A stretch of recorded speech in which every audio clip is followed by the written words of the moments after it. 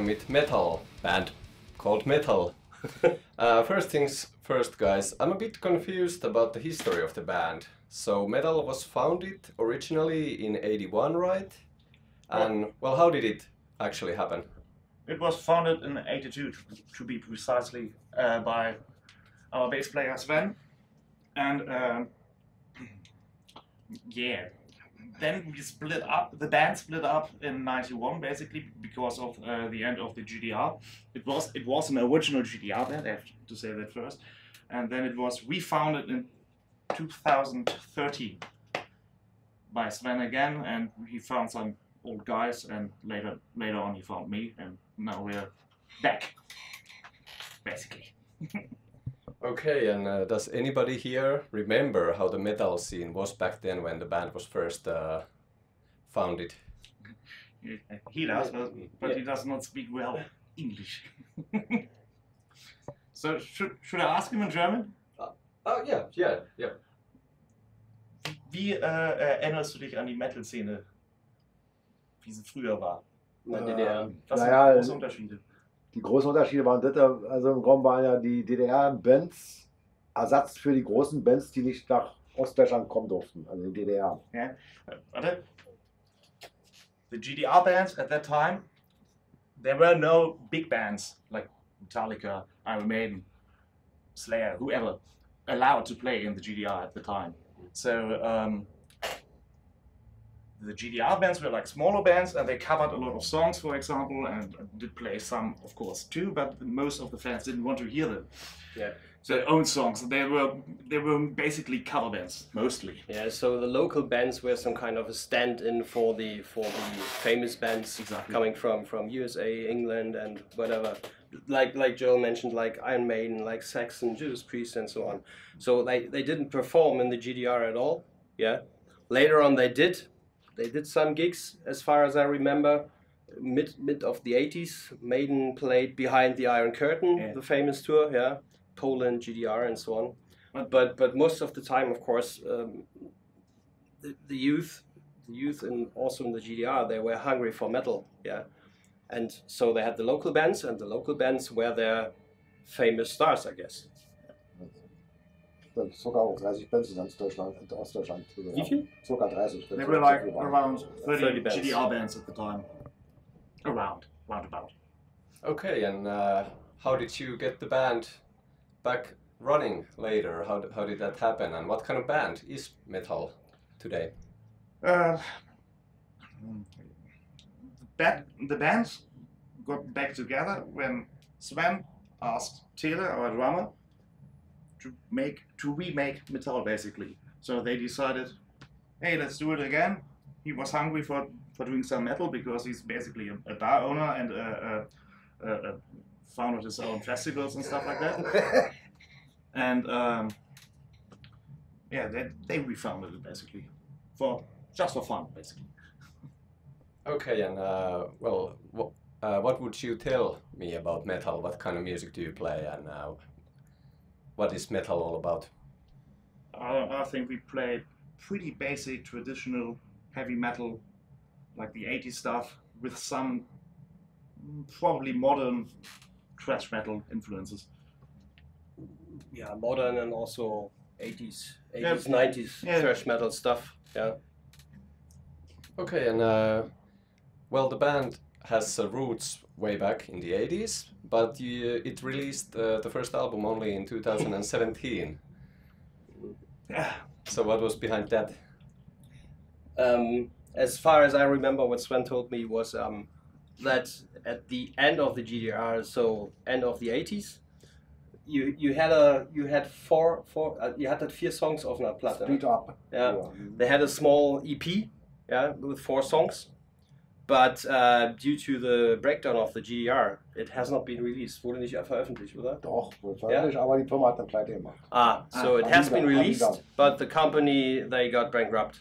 Yeah. Yeah. So at the end, there was no outcome. A- As I told told you before, it's like um, at that time the GDR bands were like mostly cover bands, Mm. so they didn't have any own records or own songs to pr- to get produced. You know. Yeah, that uh, album has to be a rarity by now. Yeah.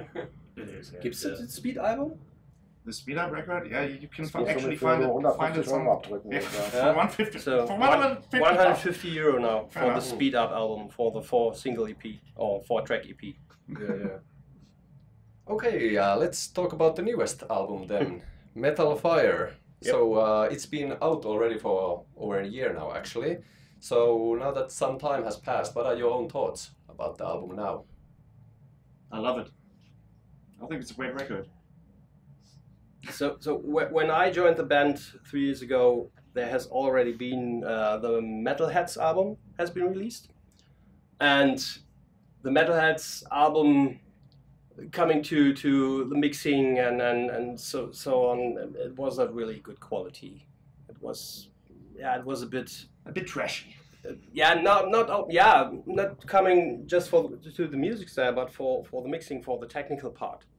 It was a bit, uh, yeah, it has does didn't have really punch, and especially the, the drumming, the, the snare, it was a bit mm, lousy, and and now the the the second album, Metal Fire, uh, coming to the mixing and so on, we we did a lot of work in the studio, yeah, and a lot of work with the with the engineer and so on, and I would say we're really proud of it It's definitely because step it's a step a step forward of course not only from from the technical point of view but also from from playing style and, and composition and so on it's for us it's a, it's a step forward improved definitely. in all points. Ja, ein Yeah. two Gitarristen.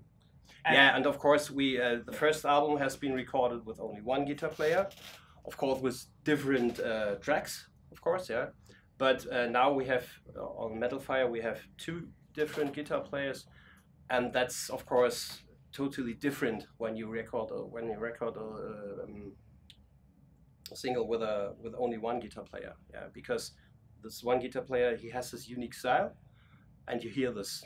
Even if you do double tracks or whatever yeah you hear this is only one guitar player playing but when you have two guitar players they have two different styles and they're unique and it sounds totally different of course Okay, uh, well, Corona affects everything at the moment, so uh, you have to talk about that too. So, how has it infected uh, your band? Uh, uh, I think how I remember is uh, uh, what I really know is we lost like 15 gigs Yeah. because of the story. Yeah. And um, Corona. well, we're a hobby band. We don't get a lot of uh, money for our gigs. What is what isn't bad at all. But but uh, um, the thing is, we wanted to make a record. So then, and for the record, we need money. We have to uh, earn this money, and then we have to pay the studio to go into the studio and pay for the record, basically. And uh, we wanted to start the record this year, but it didn't work because we had no money left, basically. And um, but suddenly we were not even allowed to re- rehearse to rehearsal anymore, you know. Yeah. So so we couldn't even write on our new tracks. So we- yeah, the band stood still for quite for about four months, I guess. Yeah. We didn't we did more or less nothing. yeah like all other bands yeah of course the main the main point is we lost a lot of money yeah. And for us as a non-professional band this is really hard yeah. Because as joel just stated um, we would like to make another record and we do not have the money at the time yeah. It costs it costs a lot of money even for for non-professional mu- musicians yeah. Studio time and so on the mixing and i mean it, some some costs will be covered by the record company yeah, which is Pure Steel Records and, and Iron Shields Records, which will pay the um, the production of this of the CD, yeah, and the, the printing of the cover and so on. But at least all the studio time needs to be paid by us, yeah. And we lost a lot of gigs, and especially a lot of interesting gigs, Yeah, of course. yeah, where we would be headliners, like, Festival like I said, like I said before, at Taunus Festival and and a lot of open air festivals which did not take uh, place and, and we could not play there and of course And the festivals are the best gigs. Yeah. The most interesting But- for us. but the which pisses me most off is that you do not have contact to your to your fans to your supporters to your to the audience yeah this is i mean not only for us of course also for the professionals I'm I don't think that they do this only for the money. Yeah, it's like a drug being on stage, playing music. Look into the eyes of the people. positive This drug. is Not, not the it's, bad one. It's it's it's like a drug, yeah, and and you need this, you need this, and I as a, not only me, I guess we all we really we really miss miss this. Yeah, a lot of bands have done like streaming gigs. Did you uh, consider that option, or is it for you?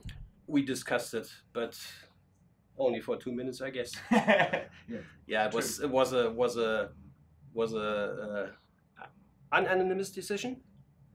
Um, that we will not do this because this It's is like not. a rehearsal on yeah, on it's like it's like a rehearsal on stage or, or whatever. This is not our stuff. This is not the real thing. Yeah, to be honest, because you do not have audience and, and whatever. And And most people I talk to didn't watch them anyway.